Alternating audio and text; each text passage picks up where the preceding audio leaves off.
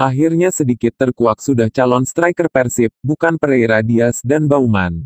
Memang calon striker asing Persib Bandung mulai sedikit terkuak, dari dua nama yang ramai dibicarakan sebelumnya yakni Pereira Diaz dan Jonathan Bauman ternyata keduanya tak masuk dalam kandidat incaran Persib Bandung. Seperti yang diketahui, bukan hal baru jika pelatih Roberto Carlos Mario Gomez kurang puas dengan skuad yang dimiliki Persib saat ini, ya, memang bukan apa-apa, dengan tuntutan untuk bangkit dari keterpurukan, jelas harus diimbangi dengan skuad yang mumpuni, dan masalahnya ada lini penyerangan Persib yang kurang tajam.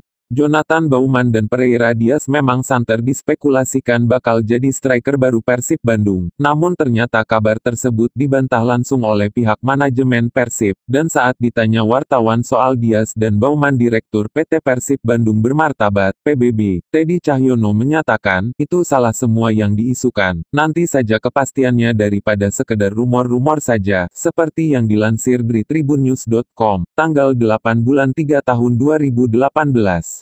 Teddy juga enggan buka suara terkait pemain lokal yang diinginkan Persib Bandung. Menurutnya Publik diharapkan bersabar, lantaran tinggal tunggu tanggal mainnya, ting yang pasti-pasti saja, daripada entar berspekulasi, dan kami akan berusaha sebelum penutupan bursa transfer, tutur Teddy seperti yang dilansir dari tribunnews.com, tanggal 8 bulan 2 tahun 2018.